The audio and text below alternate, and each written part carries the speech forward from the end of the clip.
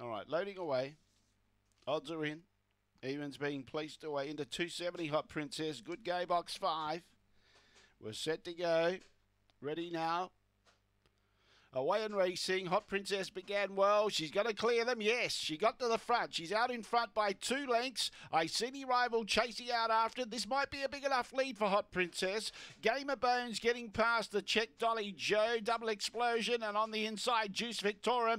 Hot Princess in front. They went for her. They've got the cash. Hot Princess is going to lead all the way. Wins by two and a half lengths. Make it two lengths on the line. I see the rival second. Game of Bones was third. Look, I think Dolly Joe got going again for four fourth placing after copying that check, then double explosion and Juice Victorium at the tail end of the field. And she comes out and does a personal best here today of 22.76. Late Mail salutes in the last. Hot Princess pounced on the lead.